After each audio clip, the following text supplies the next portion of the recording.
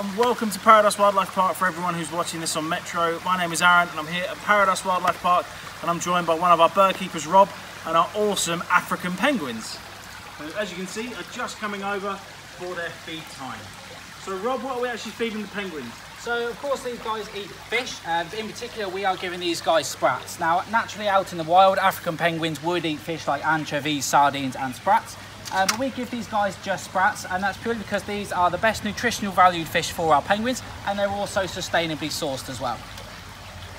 And Rob, what species of penguin do we actually have here at Paradise? So we've got African penguins here at Paradise and you can find these guys all the way from South Africa up the coast towards Namibia. And they tend to inhabit colonies of around anywhere between two to 10,000 individuals. But here at Paradise we have 19 individual African penguins.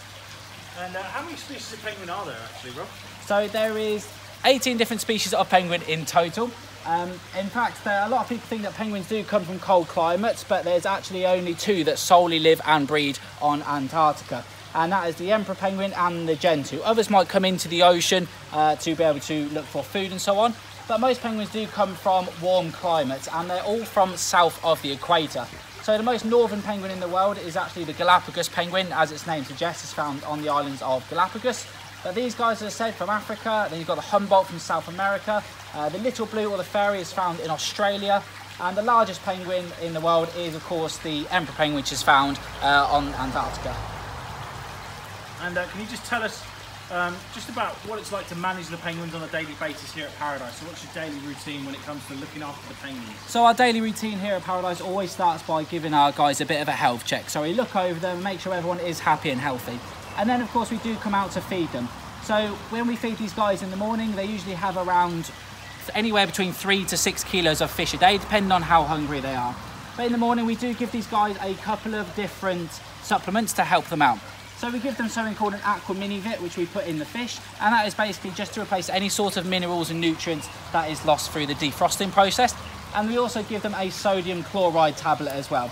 Now the sodium chloride tablet is basically to replace any natural salts that they would have lost uh, because of course in the wild they would naturally eat quite salty fish. And then throughout the rest of the day we basically clean their enclosure and then they get fed uh, just after lunchtime, so about one o'clock. And then also around uh, about now or so, which is their last feed of the day. And depends on the weather as well, can affect when how hungry our penguins actually are. At the moment, we are currently giving around two kilos of fish because these guys are uh, relatively hungry at the moment, although they're not seeming to shove it at the moment. So hopefully a few fish in the pool will encourage them in uh, to have some of their dinner. All right, in they go. Now, obviously you can just see one of the penguins having a swim around there. Rob, just how fast can penguins swim?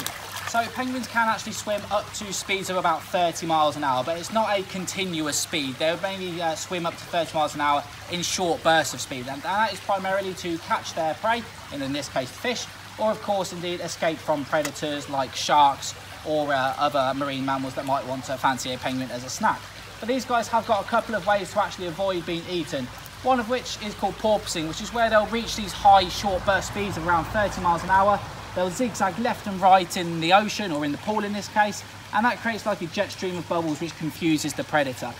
And uh, of course, they have got something called counter shading or counter camouflaging as well. Now, looking at our penguins, they do stick out a bit like a sore thumb here at Paradise on our beach, but they've got those black backs and the white bellies for a reason. So if you're a bird of prey, which might be one of our penguin's predators, and you're looking down on a penguin in the ocean, all you're going to see is a black back against the depth of the ocean. Likewise, if you are a shark coming from below, all you're going to see is a white belly against the bright sky. So in that respect, they actually are quite good at camouflaging. And uh, some look like they've got a full tuxedo, whereas others don't quite look like they've made that full tuxedo transformation just yet. Not quite Can you explain yet. the difference as to why some look a little bit different to others? Okay, so at the minute, quite a lot of our penguins do look slightly different. So you might be able to see down the front here, we have a Tamboti, and Tamboti has got a, a full black plumage at the moment. And that's because Tamboti is one of our chicks from the previous year. We also have Menena, who's right next to him as well.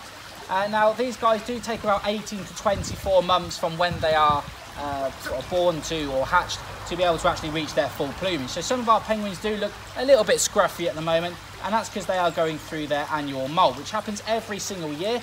Our penguins usually take around two weeks to go through their full molt, but in the wild it might take a little bit longer. And it's basically they get rid of all their old feathers and push out some new ones coming out looking pearly white and nice and clean.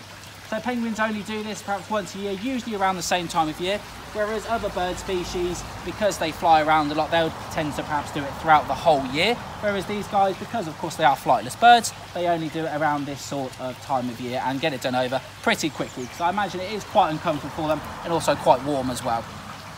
Now, this may sound like a silly question, but do penguins actually have feathers? Obviously, we know that birds that fly do, and we know that even birds that can't necessarily fly like emus do, but with penguins it always seems very difficult to tell. So what is the actual story with a penguin's coat? So it, it does look very streamlined, if you like. Um, they do have feathers. Um, I can't exactly tell you how many feathers they have. It's an awful lot amount. I know for a fact that they do have the most amount of feathers of any bird in the world per cubic inch of their body, which is an awful lot. And it is mainly used for various insulation qualities, keeping them warm when they are swimming around in the oceans as well.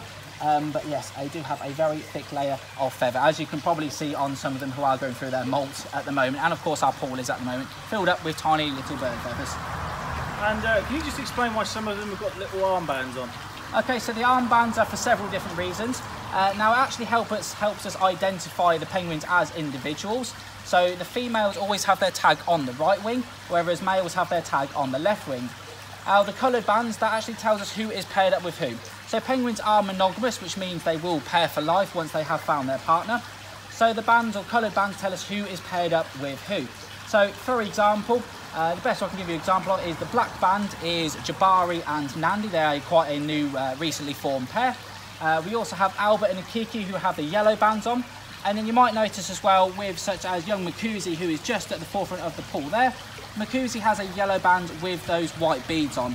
And the different coloured beads on there actually tells us whether they are the first or second or even third generation of chicks that the uh, adult pair have had. Now it looks like one of them is losing his feathers. Can you just explain why that penguin looks like that? Yep, so that one over there is uh, Jabari, or Nandi, sorry.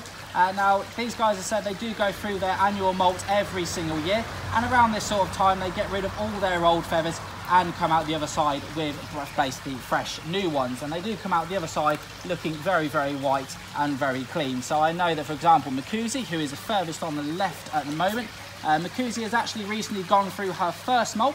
So she did uh, look like Tamboti down here at the front to start. She had all black plumage. And now she's coming out the other side looking like a fully adult penguin.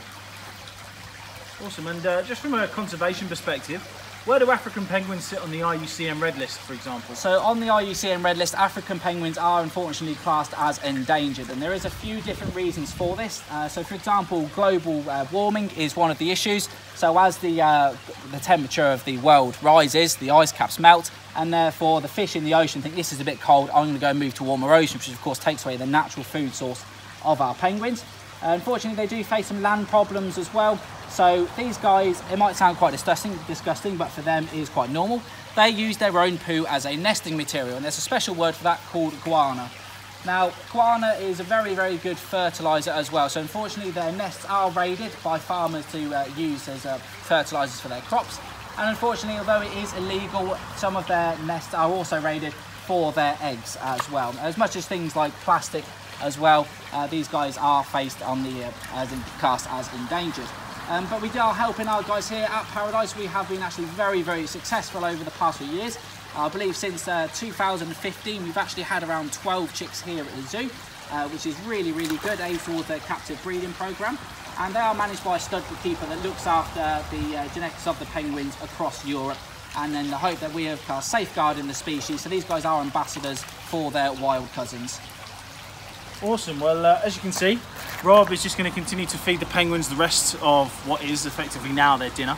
So um, what we're going to do is we're going to leave you guys so that, or leave these guys so they can continue enjoying eating their fish in a bit of privacy. But we hope you guys have enjoyed tuning in and hopefully you've learnt a few things about penguins that you may not have known before. Um, and hopefully Rob's given you lots of information about penguin conservation. Obviously one thing that really helps us with our conservation work is raising awareness and one way that you can help us with that is sharing this video. Now obviously throughout this coronavirus pandemic we do hope that you are staying home, staying safe and listening to the government's advice. In the meantime we're still going to be here taking care of the animals because obviously they do need our care and attention. Um, so that we can provide the best welfare possible for them. Obviously, it is still a bit of a struggle just because we have no income coming into the zoo whatsoever at the moment, and it is still costing us around £200,000 a month to take care of the animals. So if anyone out there is willing to help us from a donation standpoint, then please visit our Just Giving page, go to justgiving.com and then Animal Support Fund, or go to our website, which is pwpark.com. But in the meantime, stay home, stay safe, and we look forward to welcoming you back to paradise when this pandemic is over. Take care, guys. Bye.